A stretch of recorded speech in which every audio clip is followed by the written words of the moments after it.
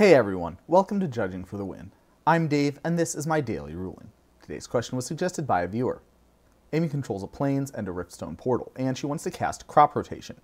If she sacrifices the riftstone portal as her land, will it be in her graveyard in time to allow her plains to tap for the green mana that she'll need?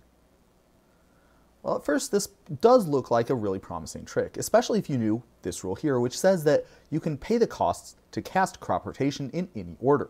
This means that you could sacrifice a land and then pay the green mana, which makes it look like this trick should work. But unfortunately, it's not quite that simple.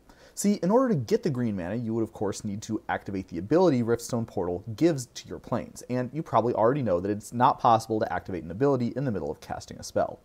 Now, it's also true that this ability is a mana ability, and you probably also know that mana abilities have special timing permissions that allow you to activate them in times when you ordinarily couldn't.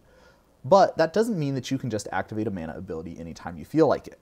In particular, when you're casting a spell, there's one specific step in the process where the game lets you activate mana abilities, and that spot is immediately before the costs are paid. Once you're in the process of paying costs, you cannot activate mana abilities, and so this trick does not work. Let's close out with a challenge question to test your understanding.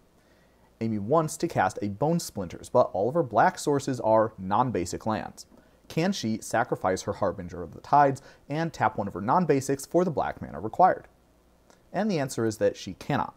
Just like before, Amy must activate mana abilities before she starts to pay the cost to cast Bone Splinters. She cannot tap a land after sacrificing the Harbinger of the Tides. And that's all I have for you today. How did you do? Join me again next time for another daily ruling. Until then, I hope you have a great day.